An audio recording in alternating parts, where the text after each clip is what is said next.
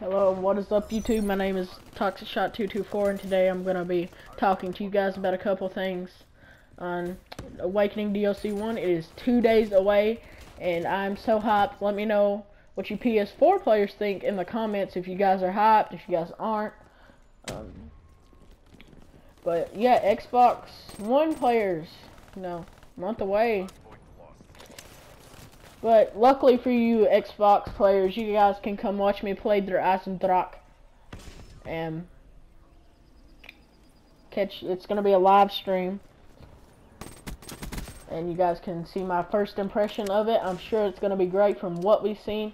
I'm gonna do a full live stream on the Easter egg and tell you guys the steps. I'm gonna cut it out and do certain you know steps on it and make it into video so you guys can get that yourself.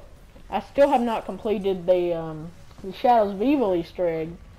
I was nearly there. I was. We had our swords upgraded. Was getting ready to do the next step, and a guy bailed on us, which kind of sucks because we had so much done, and we put so much time into it. But yeah, that's off. That's off the point.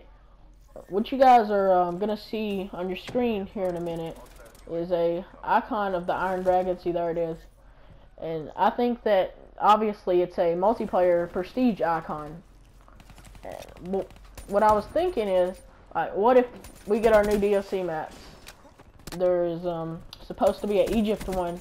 Somebody went into the coding on Reddit. I think, yeah, that's what the community has been talking about uh, the past couple weeks, really. I think um the the prestige icons. I cannot talk today, guys. I'm so sorry. But the prestige icons are um they're gonna be like as you can see the Iron Dragon. It's obviously tied in with the Eisendrache or the Iron Dragon is the name of the map when you translate it. I think that our prestige icons are going to have something to do with zombies because obviously this one does. But let me know what you guys think in the comment section below. But I'm going to get off here and go play some Batman Arkham Knight.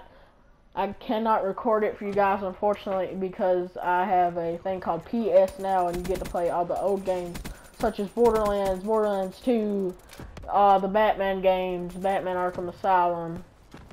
I wish I could record it for you guys. It kind of sucks that I can't, but I guess it's where it was PS3 software, and they did not have the share button on your controller, or share play. Share Factory, really. But, yeah, I hope you guys did enjoy. Remember to leave a like, comment, and subscribe if you haven't already. It really helps me out a lot, and it is appreciated. Let me let me know what you guys think of a Q&A. And before I forget, I'm going to start a series called Best Class Setups. It's pretty simple. Um, but everyone's different, and they might not like the class setups. It's just my opinion on the class setups that I use, and I do pretty good with them, I think. But yeah, let me know what you guys think of the comments of this video. And a like is always appreciated. A subscribe is lovely. And I, I'm out, guys.